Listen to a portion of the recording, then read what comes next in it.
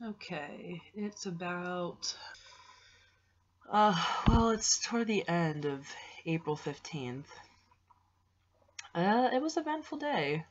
The morning started off pretty slow. I just had a few classes. Uh, I spent about two hours at the library working on my final thesis presentation.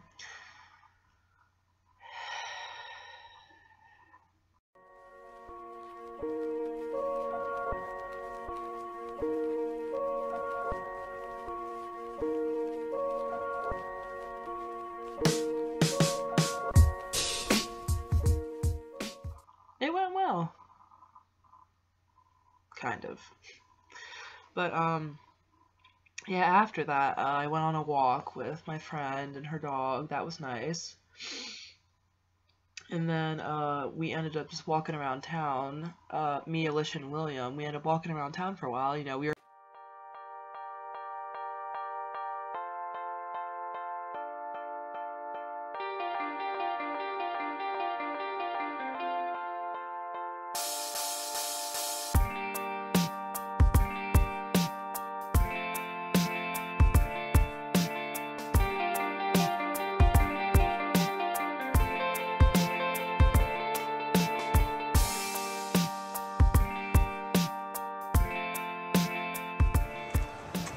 That was. I did it. we were challenging each other to see who could vlog, but vlog better. I'm sorry, sorry, I have a cold.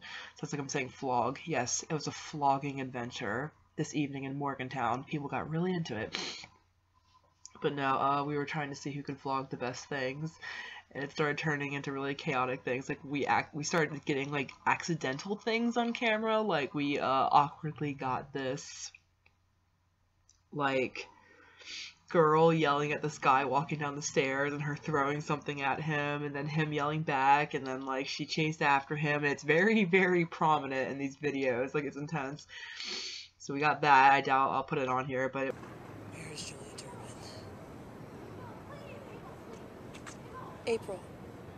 Wait, who's she screaming? Oh, oh. that was great. This